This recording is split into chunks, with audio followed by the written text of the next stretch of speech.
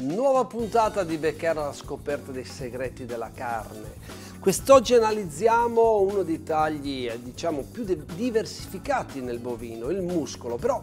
non dobbiamo confonderci le idee perché ci sono vari tagli anatomici che vengono classificati come muscolo. In questo caso specifico abbiamo il muscolo della coscia, ma il muscolo della coscia cosiddetto anche come campanello perché è attaccato alla parte proprio della polpa della coscia, quindi alla parte nobile dei tagli della coscia e la sua forma anatomica, è il motivo per cui viene chiamato anche il campanello, è che una volta disossato ha attaccato sopra la parte del tendine, quindi gli dà una forma di una specie di campanello. Si adatta per molteplici ehm, ricette e soprattutto se tagliato in maniera attenta e giustamente eh, debitamente mondato risulta perfetto per arrosti e brasati.